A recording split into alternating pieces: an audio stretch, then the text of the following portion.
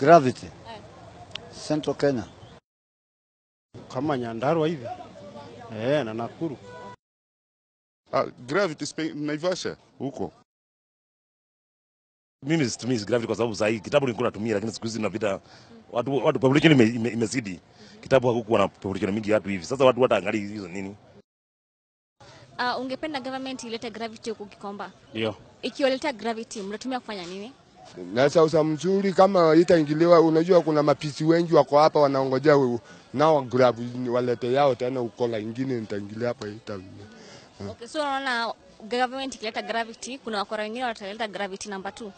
Eh, hiyo ni lazima, hiyo ni obvious, lazima lazima, hiyo ni lazima, hiyo ni lazima hiyo.